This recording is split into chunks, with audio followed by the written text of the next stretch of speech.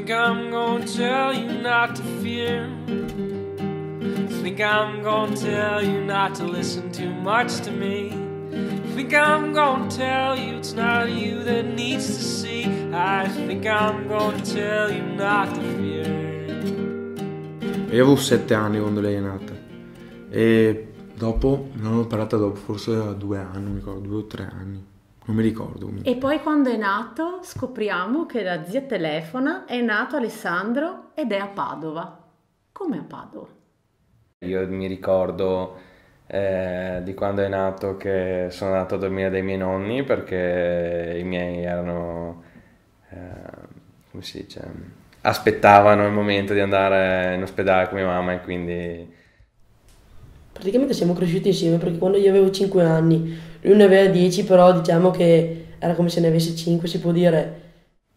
Io lo vivevo come una cosa normale da piccolo, vabbè, ho sempre vissuto come una cosa normale, anche perché eh, cioè, non è che c'è l'alternativa. I primi anni non lo capivo, fino a magari 5 anni non capivo bene bene tutto quanto, la situazione come erano. Dopo un po' sì, ho capito, a quell'età un po' più grande, sapevo già che la vita che avrei fatto per tutta la vita, diciamo, non autonomo. Io mi sono reso conto che lei aveva qualche difficoltà, insomma, negli ultimi anni qua, negli ultimi anni, quindi dopo tanto tempo comunque trascorso con lei o... Eh, cioè è parte fondamentale della mia vita ovviamente l'ha cambiata radicalmente come ha cambiato la vita dei miei genitori.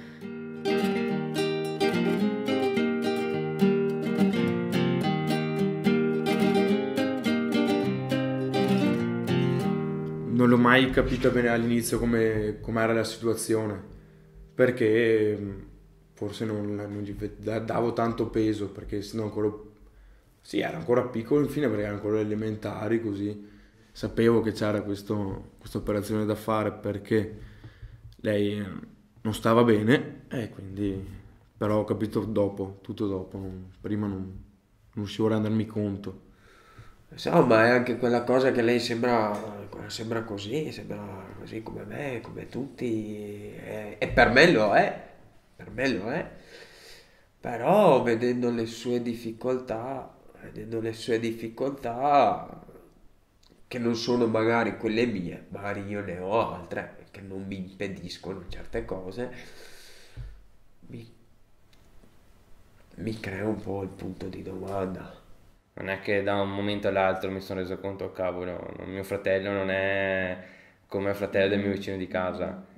L'ho percepita in modo diverso a volte questo appunto avere questa diversità, nel senso che eh, è innegabile insomma che a volte avrei voluto avere un fratello, eh, ma anche solo perché ci sono alcune cose nel rapporto tra fratelli che non, non sono state possibili, cioè non è stato un compagno dei miei giochi nell'infanzia come invece eh, tanti fratelli sono stati compagni di giochi uno dell'altro per esempio. Cioè un fratello con la disabilità diventa una famiglia con una disabilità in famiglia, cioè non, non, è solamente il fratello, per cui diventa una vita particolare, ma ognuno ha le sue robe, per cui non è che...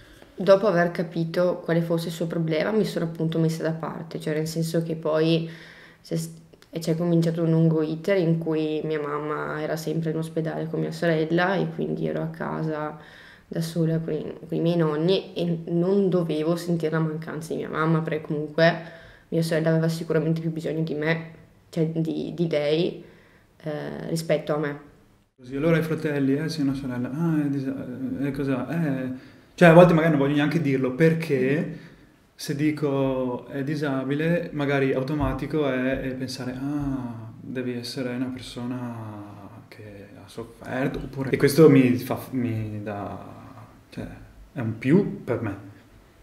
Però non è meritata questa cosa e quindi io non voglio, cioè, vivo questa emozione, adesso non so se si capisce, però si capisca. Quando invece sì, il merito dei sacrifici va ai miei genitori, perché io non è che non è che abbia fatto sacrifici, diciamo. La realtà era quella lì. E sì, Anzi, mi sento un po' viziato sotto un certo punto di vista perché i miei mi hanno dato anche, cioè col, col timore che questo potesse essere una roba lesiva nei miei confronti, eh, mi hanno dato di più di quello che potevo aver diritto probabilmente. Cioè io ho un po' questa idea qua. Da piccola dici perché? Perché a noi, perché ad Ale e, e vivere ogni intervento. Alessandro ha fatto 11 interventi nei primi sei anni di vita, quindi ogni intervento lo vivevi Eh sì. sempre lì aspettando il telefono che squillava. Parlare di lei è sempre un po'... Sì, mi risveglia un po' di emozioni, insomma, perché cioè, lei è il mio punto debole. Think I'm gonna tell you not to hear no more. I think I'm gonna tell you don't come back.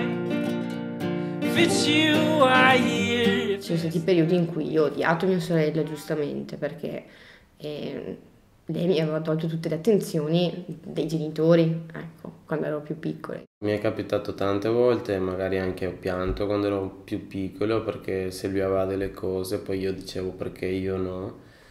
Sì, certe, cioè parecchie volte mi è capitato. e vedere anche magari altre famiglie che hanno due fratelli che magari condividono tantissime cose e magari quello più piccolo si appassiona alle cose quello più grande. Mi piacerebbe essere come loro, però se c'è da quello che c'è, cioè nel senso bisogna aiutarsi. Eh, Anche da piccolino vedevo che tutte le attenzioni andavano a lui. Eh, diciamo che lui veniva prima di tutti, si può dire, il pensiero era di Michael, anche i nonni. E a me questa cosa seccava, no? Perché mi, mi chiedevo perché lui sì, io no, no. Perché non- diciamo che a quell'età lì non ero ancora consapevole. C'era un amore e odio da piccoli, adesso un po' meno. Perché ehm, era un attimo, no? Passare da fare, giocare a lotta a darsi veramente. Pure una volta abbiamo tipo uno skateboard a casa, no? L'ho montato in cima allo skateboard e l'ho spinto giù per, per una rampa così che c'è a casa mia e stava saltando giù tipo tema e Luis da, dalla muretta. If it's you I hear, if it's them we fear, I think I'm gonna tell you not to fear. E una volta non sono riuscita a dire, cioè ho sentito che li prendeva in giro, non sono riuscita a dire è mio fratello. E lì, è stato uno di quei, cioè ce l'ho ancora in mente perché mi sento ancora in colpa, nel senso non essere riuscita a dire che cacchio dite mio fratello.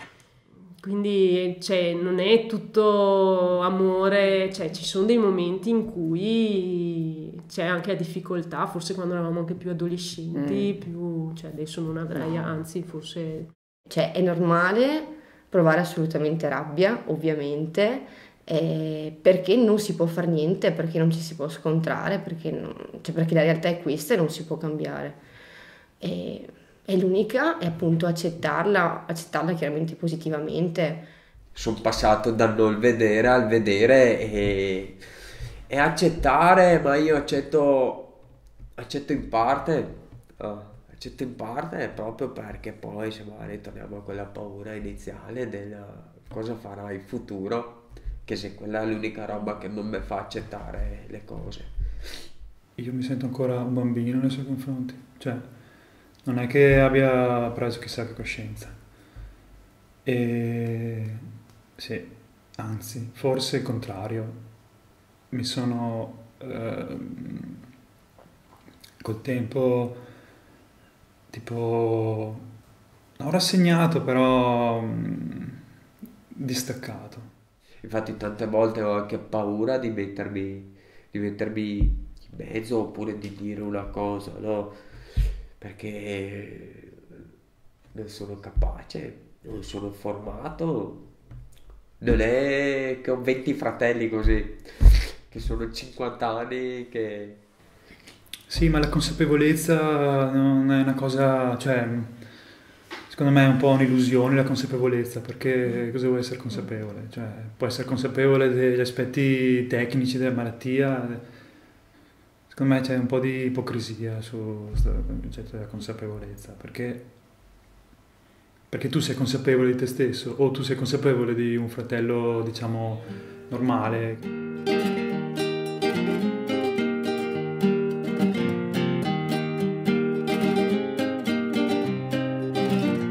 Ecco, diciamo che la parte più difficile, forse almeno per me, è stata quando sono cominciate anche le crisi epilettiche. Allora lì, anche lì, quel quella cena là vicino che comincia a tremare ed è stato però un boomerang per tutti perché era una cosa nuova. Io mi ricordo questa cosa del tenerle la mano quando faceva una crisi epilettica e mi ricordo che ehm, cioè pensavo da piccolo che tenendole la mano gli facevo passare la crisi, invece la crisi probabilmente passava per conto suo, però sì, c'era un po' questa idea qua. Ti chiedi sempre se hai una responsabilità in questa sua difficoltà. E sì. Io sono uno che un po' più si colpevolizza e magari le trovo, ma tutti un po' meno male si trovano magari qualche responsabilità. È un po' il discorso con la rabbia, nel senso che fin quando c'era tanta rabbia ti dici perché?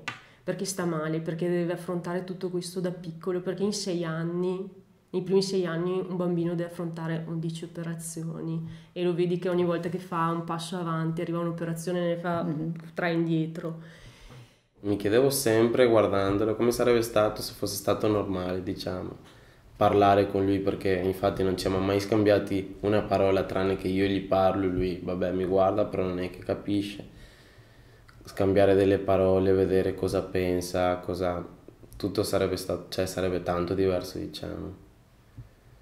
E ogni tanto mi chiedo anche il perché, mm, proprio, diciamo, a mio fratello. Però vabbè, capita, insomma, non solo a lui. Praticamente non c'è nessun feedback del fatto che mia sorella possa eh, tipo percepire la presenza di qualcuno o comunicare o magari ti segue con lo sguardo perché non ti segue con lo sguardo. Cioè dopo anche mia mamma mm, fa presto a dire sì, guarda, ha sentito che sei arrivato, ma secondo me no, no. Però in realtà magari sì. Però sì, da bambino mi ricordo mm, eh, il pensiero che potesse guarire o che potesse camminare, che un giorno magari comincia a parlare. Sì.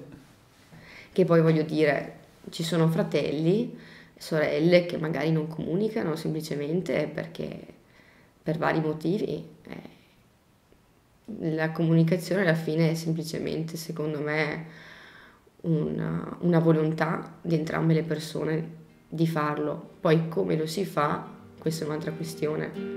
think I'm gonna tell you it's not me you need to see. I think I'm gonna tell you not to listen too much to me.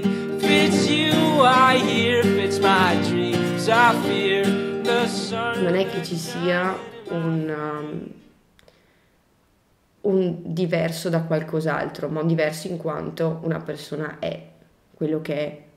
Le persone non sono abituate, forse in generale, a, non- cioè, a riconoscere le, le diversità in generale che, sono, che riguardano qualsiasi caratteristica della persona, sia che nasca con una malformazione, sia che nasca con un piede storto, sia che nasca con un- uno specifico orientamento sessuale e così via, insomma. Quindi in realtà ehm, porsi troppe domande per, per quale sia la causa della nascita di Beatrice in quest- questo modo, insomma, forse è anche un po' inutile. Probabilmente il- le domande senza risposta cominciano a essere un po' ingombranti adesso come donne forse, più che come sorelle o adolescenti, perché quando ti avvicini a, a certe tematiche come donna, come moglie, così, allora ti fanno gli altri specialisti delle riflessioni sulla tua famiglia così, però dici ma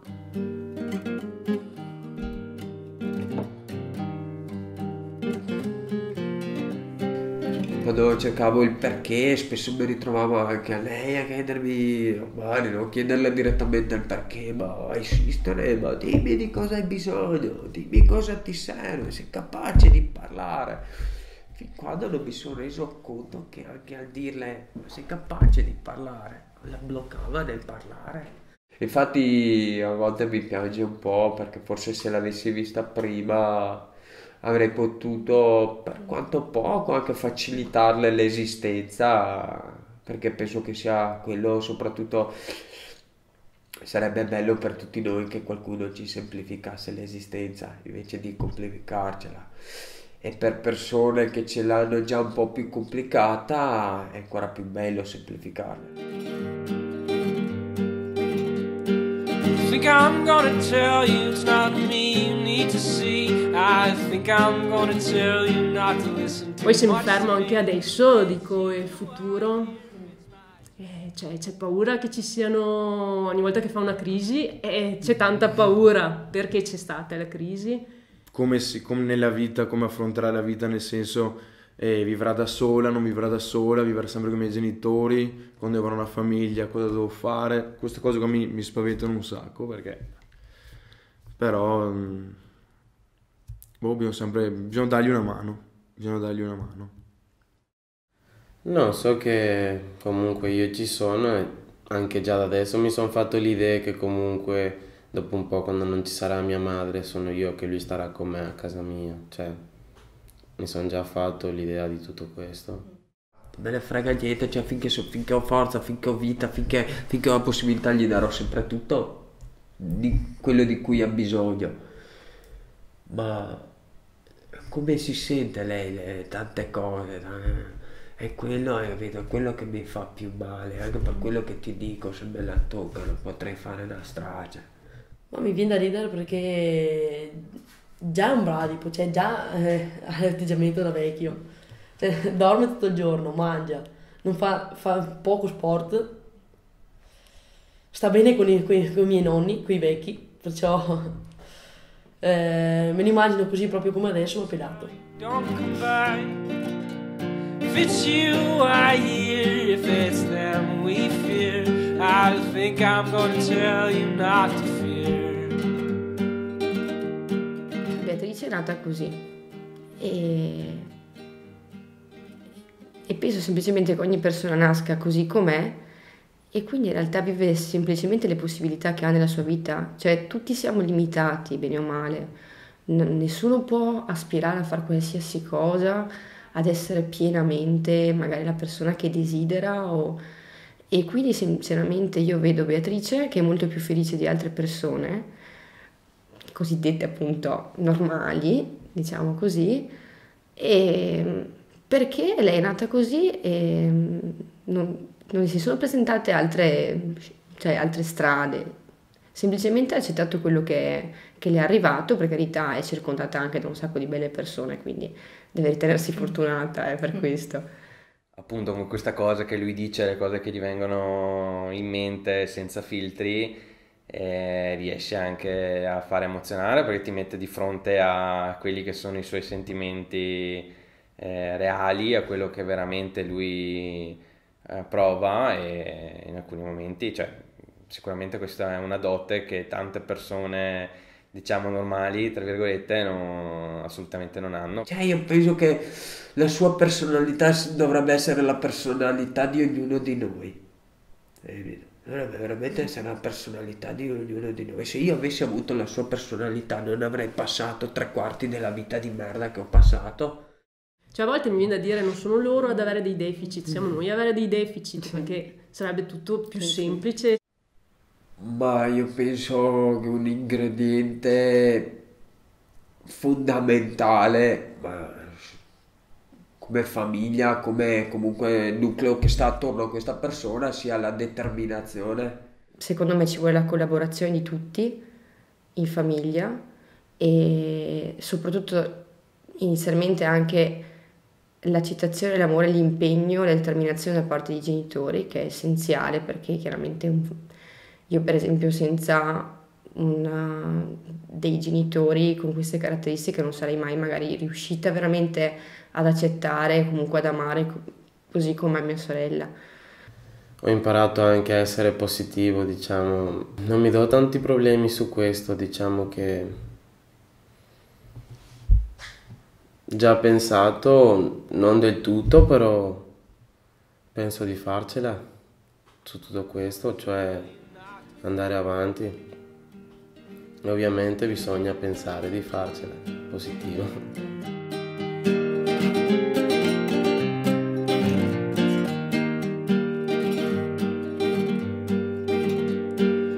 think I'm gonna tell you it's not me you need to see. I think I'm gonna tell you not to listen too much to me. If it's you I hear, if it's my dreams I fear, the sun that's shining in my face.